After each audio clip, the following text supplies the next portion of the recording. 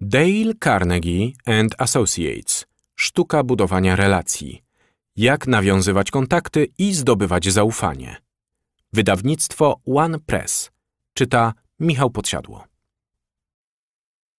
Rozdział siódmy. Konflikt. Ernie siedział w sali konferencyjnej, nerwowo stukając stopą. Firma zatrudniła nową osobę, która miała kierować działem marketingu, a historycznie rzecz biorąc, sprzedaż i marketing miały nie najlepsze relacje.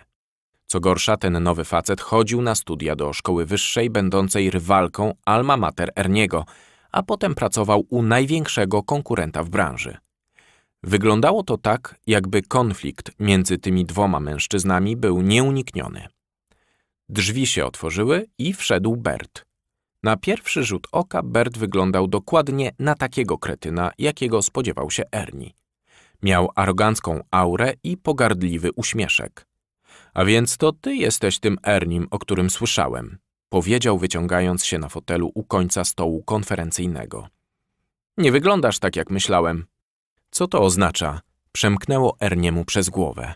Już nie lubię tego faceta. Nie wszyscy nadają na tych samych falach. Czy kiedykolwiek spotkałeś kogoś i już w momencie, gdy go poznałeś, wiedziałeś, że się nie dogadacie?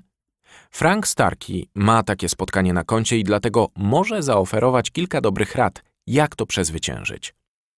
Czy kiedykolwiek spotkałeś kogoś po raz pierwszy i rzuciłeś nie nadajemy na tych samych falach, nie dogadamy się, ona jest stąd, ja stamtąd. Nigdy nie znajdziemy sposobu, żeby nawiązać kontakt. Ona widzi rzeczy inaczej niż ja. I nagle, kiedy już ją poznałeś, krytyka znika, bo rozumiesz, skąd się to wszystko bierze. Kiedy już do tego dojdzie i uda ci się ustalić, jak znaleźć punkty styczne, wtedy będziecie mogli pracować razem. Nawet w zdrowych organizacjach nie wszyscy nadają na tych samych falach. To jest całkowicie w porządku i normalne, że istnieją pewne nieporozumienia, ale musi również istnieć nić porozumienia. Nie musimy się zgadzać we wszystkim, ale żeby iść do przodu, musimy znaleźć miejsce lub punkt, w którym możemy się zgodzić. Tak właśnie należy się dogadywać z ludźmi, których można nie lubić na płaszczyźnie osobistej. Jonathan Wehar był właścicielem firmy konsultingowej, a inna firma tego typu zaczęła docierać do niektórych jego podwykonawców, oferując im pracę. To nie spodobało się Jonathanowi. Na konferencji branżowej podszedł do niego prezes konkurencyjnej firmy i powiedział: Powinniśmy porozmawiać. Jonathan, który celowo unikał tego prezesa, sztywno zapytał: Chodzi ci o naszych podwykonawców? Konkurent odpowiedział: Nie, chociaż moglibyśmy o tym porozmawiać. Chciałem pogadać o tym, iż moim zdaniem to, co robimy, jest komplementarne i obaj moglibyśmy sobie pomóc. W końcu zjedli razem kolację i odkryli, że obaj są zainteresowani różnymi częściami rynku i zaczęli kierować do siebie zlecenia. W ramach tego procesu byli nawet w stanie zagwarantować ciągłość pracy dla swoich podwykonawców, co pozytywnie wpłynęło na ich lojalność. Po 20 latach nadal są bliskimi przyjaciółmi i wciąż współpracują ze swoimi uzupełniającymi się ofertami. Czym jest konflikt? Zawsze, gdy są dwie osoby lub więcej, konflikt jest nieunikniony. Od maluchów walczących o zabawkę, poprzez właścicieli firm kłócących się o podwykonawców, aż po światowych przywódców walczących o granice państw, konflikt jest częścią życia każdego człowieka. Czym dokładnie jest konflikt? Oto nasza robocza definicja. Konflikt to, po pierwsze, ostry spór o interesy lub idee, zaburzenie emocjonalne, to bycie w sprzeczności z czymś lub pozostawanie w opozycji. Po drugie, walka psychiczna wynikająca z niezgodnych lub przeciwstawnych potrzeb bodźców życzeń lub zewnętrznych, wewnętrznych wymagań. Jak widać, są dwie strony konfliktu zewnętrzna i wewnętrzna. Jedna z nich to brak zgody z inną osobą, a druga to wewnętrzna walka psychiczna. We wcześniejszym rozdziale długo rozmawialiśmy o tym, jak przezwyciężyć wewnętrzną mentalną walkę, wykorzystując idee ram i filtrów. W tym rozdziale skupimy się bardziej na konflikcie interpersonalnym i sposobach jego rozwiązywania. Charakterystyka konfliktu. Zanim podejdziemy do konfliktu z myślą o jego rozwiązaniu, musimy zrozumieć jego naturę i to, jak ludzie na niego reagują. Oto kilka cech charakterystycznych dla konfliktu. W konflikcie rzadko występuje tylko jedno źródło. Emocje są duże. Ludzie czują się niekomfortowo w sytuacji konfliktowej. Ludzie czują się osamotnieni i mają wrażenie, że tylko oni przez to przechodzą.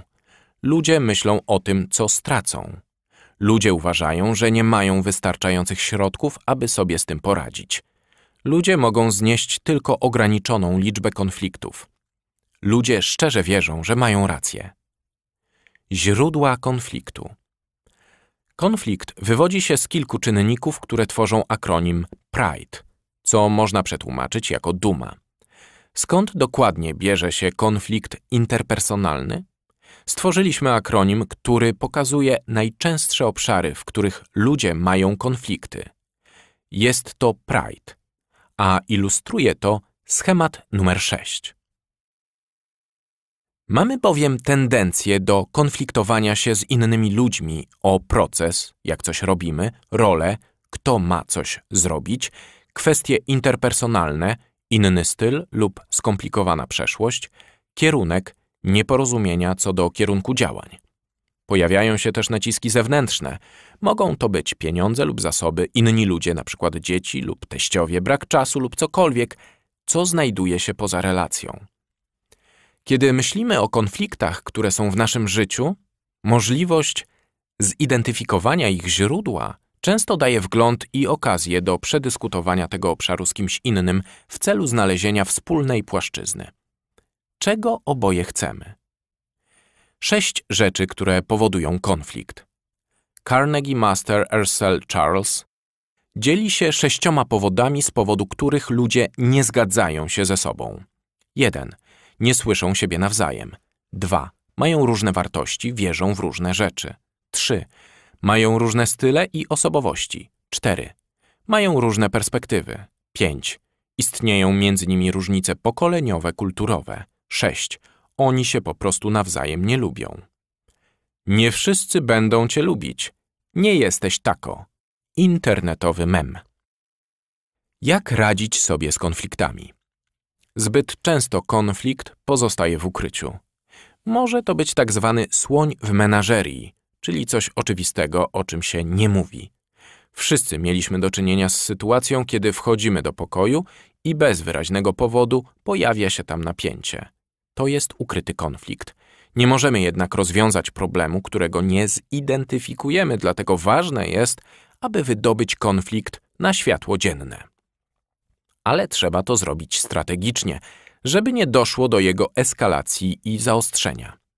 Oto kilka wskazówek dotyczących wyprowadzenia konfliktu na światło dzienne. 1. Zajmij się sprawą, gdy emocje opadną. 2. Wybierz neutralne otoczenie. 3. W razie potrzeby potraktuj to jako problem zespołowy. 4. Zapraszaj do rozmowy, zaczynając w przyjazny sposób. 5. Stosuj pytania otwarte. Powiedz mi proszę, dlaczego jesteś zły? Co mogę zrobić, żeby ci pomóc? Jak to się stało? Jak zareagowałeś, gdy padły te słowa? 6. Zamiast komunikować typu ty, używaj raczej ja lub to, czyli nie wiesz, co się tutaj teraz dzieje, versus mam wrażenie, że tylko ja wiem tak naprawdę, co się tutaj dzieje, lub Wydaje się, że ogólnie brakuje wspólnej świadomości na temat obecnej sytuacji. 7. Mów o problemie, a nie o sobie. 8. Przestań mówić i słuchaj. 9. Działaj zgodnie z tym, co usłyszysz, aby zdobyć i utrzymać zaufanie. Gorzej, jeśli słuchasz czyichś odczuć na temat danej sytuacji, a potem lekceważysz to, co usłyszałeś. Przypomnij sobie jeden ze sposobów odbudowy zaufania, którym podzieliliśmy się w poprzednim rozdziale. Dotrzymaj swojej części umowy. René i Courtney miały w pracy wspólne zadanie związane z rebrandingiem firmy elektronicznej, dla której pracowały. René kierowała marketingiem, a Courtney działem zarządzania produktem. Aby obie mogły odnieść sukces w rebrandingu opakowań produktów, René musiała dostarczyć wytyczne dotyczące logo i brandingu, aby Courtney mogła stworzyć wszystkie nowe opakowania dla setek produktów. Courtney ciągle prosiła René, żeby ta usiadła i popracowała nad projektem. René odmówiła rozpoczęcia projektu, co stworzyło presję na Courtney, bo wiedziała, że przez to czas, który miała na wykonanie pracy, drastycznie się skrócił. W końcu w rozmowie telefonicznej René wybuchła. Nie obchodzi mnie to, czego potrzebujesz. I odłożyła słuchawkę. Courtney była oszołomiona. Obie panie miały dobre relacje w pracy i spotykały się towarzysko poza nią. Courtney postanowiła dać ochłonąć emocjom. Kilka dni później zadzwoniła do René i wzięła odpowiedzialność za konflikt. Słuchaj, wiem, że zbyt mocno naciskałam na ciebie w tym projekcie. Następnie zapytała, co tak naprawdę się dzieje. Okazało się, że René borykała się z pewnymi problemami zdrowotnymi i miała kłopoty z agencją brandingową, która była odpowiedzialna za pracę, a także była pod presją swojego szefa. W miarę rozwoju rozmowy i celowej pracy nad zrozumieniem punktu widzenia drugiej osoby, były w stanie uzgodnić ścieżkę rozwoju, która umożliwiłaby im obu uzyskanie tego, czego potrzebowały. Skala reakcji na konflikt. Schemat numer 7 ilustruje różne reakcje na konflikt. Po lewej stronie są zachowania unikające, a po prawej bardziej agresywne. Chcemy dążyć do osiągnięcia środka, kiedy idziemy na kompromis, bez uszczerbku dla tego, co jest dla nas najważniejsze i współpracujemy tak, aby obie strony wygrały. Pytania dotyczące rozwiązywania konfliktów. Żeby to zrobić i osiągnąć korzyści, oto kilka pytań, na które należy odpowiedzieć. 1. Na czym polega konflikt? 2. Jakie style reagowania na konflikt wchodzą w grę? 3. Jakie są przyczyny konfliktu? Co jest przyczyną źródłową? 4. Jakie są możliwe rozwiązania? 5. Jakie jest najlepsze rozwiązanie? Psychologiczne bezpieczeństwo. Aby to osiągnąć, musi istnieć środowisko zapewniające psychologiczne bezpieczeństwo. W lutym 2022 roku krążyło wideo, na którym wysoki rangą rosyjski urzędnik wojskowy jest przesłuchiwany przez prezydenta Rosji Władimira Putina. W nagraniu widać było, że urzędnik nie zgadza się z inwazją na Ukrainę. Nie trzeba dodawać, że nie było to środowisko, w którym urzędnik był psychologicznie, a nawet może fizycznie bezpieczny, by nie zgodzić się z prezydentem, więc werbalnie się zobowiązał. Z kolei w słynnym projekcie Arystoteles Google'a odkryto, że jedną z cech wyróżniających zespoły o wysokiej wydajności było środowisko zapewniające psychologiczne bezpieczeństwo. W tym środowisku członkowie zespołu czują się bezpiecznie, podejmując ryzyko i będąc bezbronnymi przed sobą nawzajem. Aby naprawdę przejść przez konflikt, obie strony muszą czuć się psychicznie bezpiecznie. Psychologiczne bezpieczeństwo to stan, w którym istoty ludzkie czują się włączone w bieg wydarzeń i grupę, mogą się bezpiecznie uczyć, wnosić swój wkład i kwestionować status quo. Wszystko bez obawy, że zostaną zawstydzone, zmarginalizowane lub ukarane w jakiś sposób. Timothy R. Clark, 2020. Oto dziewięć oznak niskiego psychologicznego bezpieczeństwa. 1. Ludzie nie zadają wielu pytań podczas spotkań. 2. Ludzie nie czują się komfortowo, przyznając się do błędów lub obarczają winą za nie innych. 3. Ludzie unikają trudnych rozmów i gorących tematów. 4. Liderzy mają tendencję do dominowania w dyskusjach na spotkaniach.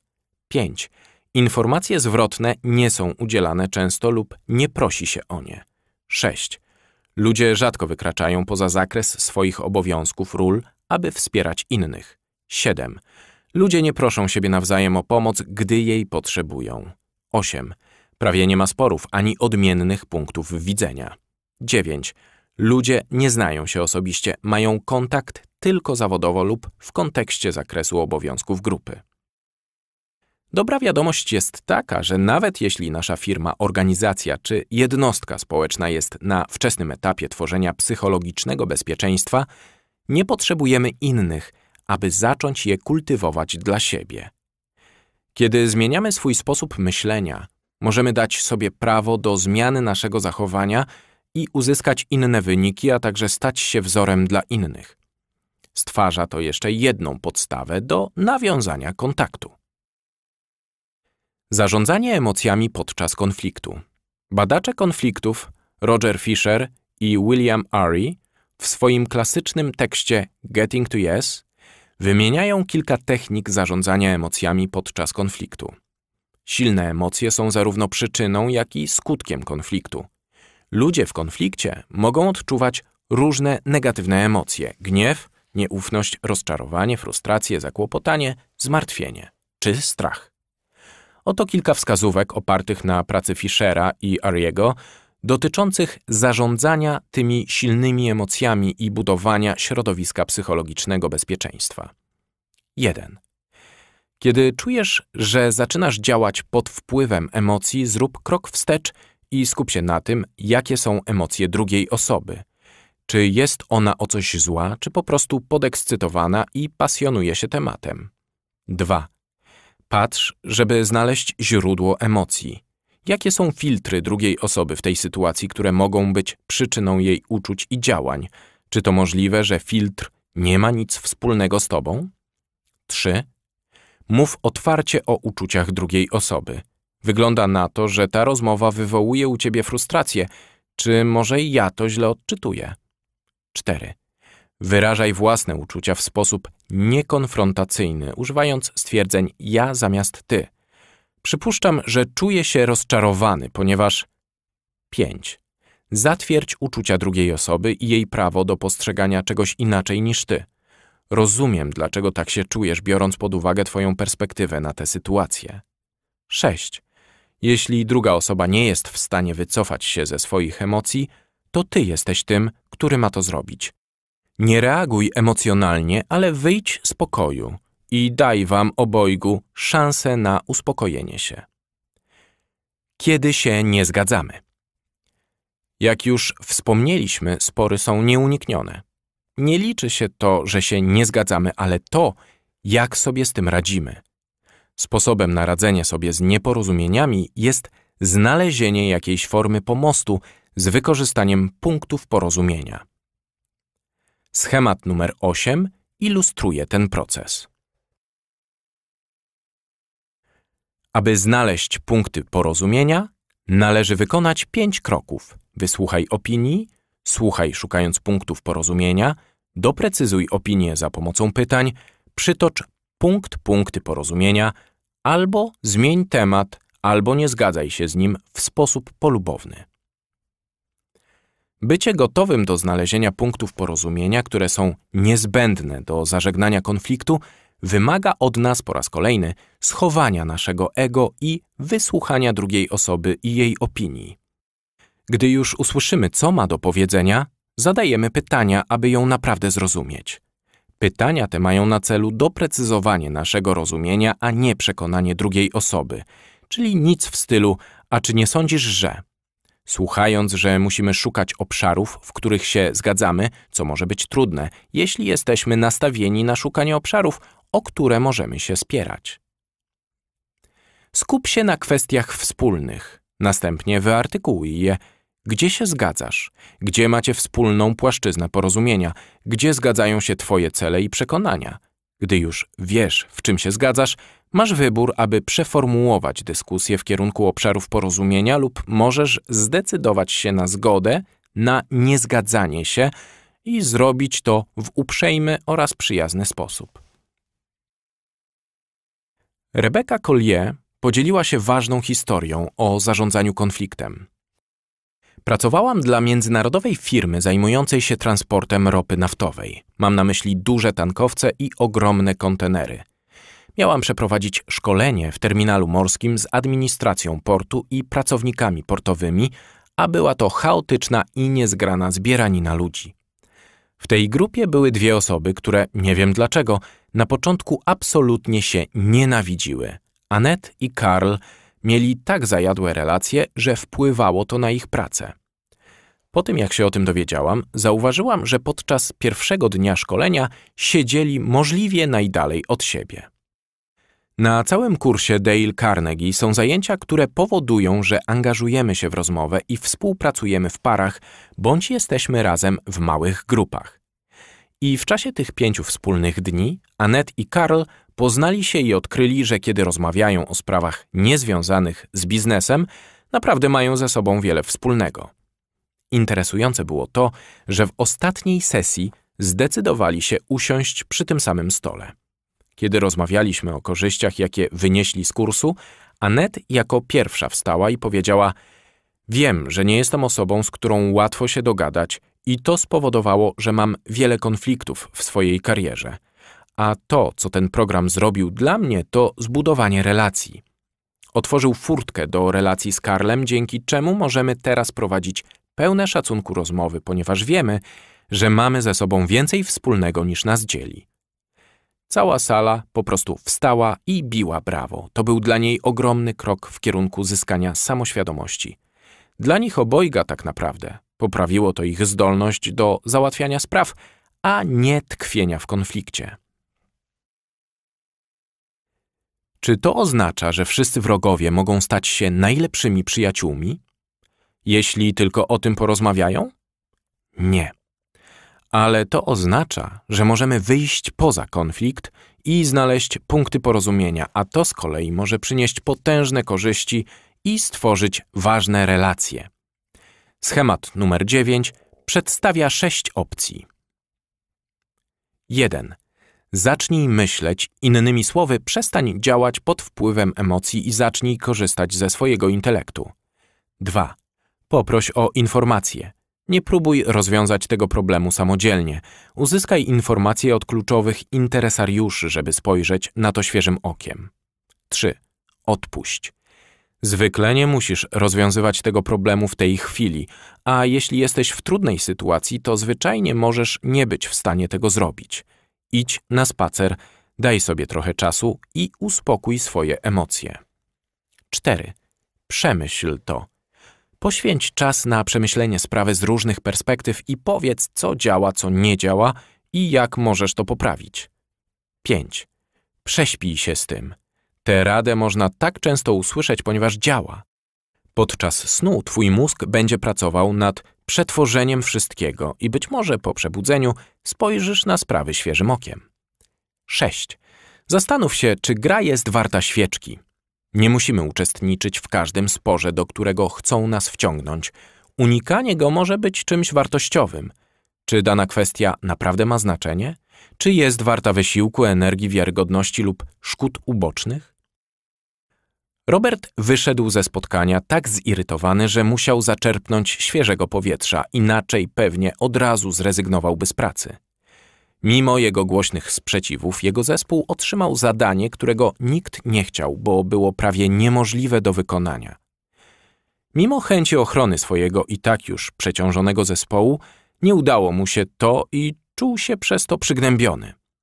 Gdy tylko spotkanie się skończyło, Robert wyszedł z niego wprost w objęcia mroźnej zimy w Illinois i zrobił kilka rundek wokół magazynu, żeby ochłonąć. W miarę jak szedł, neurochemia w jego mózgu zmieniała się i pomagała mu przechodzić od złości do frustracji, a następnie do irytacji, potem do zdenerwowania, aż do ciekawości, jak ma zamiar zrealizować ten projekt, który został mu podrzucony niczym kukułcze jajo. Pod koniec spaceru uświadomił sobie, że może wykonać zadanie w sposób, który nigdy wcześniej nie był brany pod uwagę. W pośpiechu wrócił do biura, opracował plan i zaczął zabiegać o poparcie kluczowych interesariuszy. Takie podejście doprowadziło do przekształcenia biznesu i stworzyło fundamenty cyfrowej transformacji firmy. Wszystko dlatego, że zamiast rzucić robotę w diabły, po prostu na chwilę odpuścił. Porady Dale'a Carnegiego, jak wyjść poza konflikt. Spróbuj uczciwie zobaczyć rzeczy z punktu widzenia drugiej osoby. Nie przejmuj się drobiazgami. Współpracuj z tym, co nieuniknione. Zdecyduj tylko, ile niepokoju warta jest dana rzecz i nie stresuj się nią bardziej. Kiedy los daje ci cytryny, spróbuj zrobić z nich lemoniadę. Nigdy nie staraj się wyrównać rachunków ze swoimi wrogami. To nie jest książka skupiona na konflikcie. Skupia się na nawiązywaniu kontaktów z innymi ludźmi. I pamiętaj, że zaczęliśmy ten rozdział od rozmowy o tym, że konflikt dzieje się zarówno wewnątrz naszych mózgów, jak i na zewnątrz, w interakcjach z innymi ludźmi. Z pewnością, gdy jesteśmy w konflikcie, połączenia nie mają miejsca, a tak naprawdę konflikt jest jak kwas, który zżera relacje, jakie nawiązaliśmy z innymi ludźmi. Tworzy nieufność, niszczy szacunek i może podkopać Twoją wiarygodność. Zamiast wycofywać się z relacji lub izolować z powodu konfliktu, wybierzmy lepszą drogę i zbudujmy most ponad nim, który zaprowadzi nas z powrotem do produktywnej relacji. W ten sposób rozwijamy nasze kontakty. Najważniejsze wnioski. Konflikt istnieje w nas samych i z innymi osobami. Konflikt wywodzi się z procesu, ról, kwestii interpersonalnych, kierunku, presji zewnętrznej. Oto sześć powodów, z powodu których ludzie się ze sobą nie zgadzają. 1.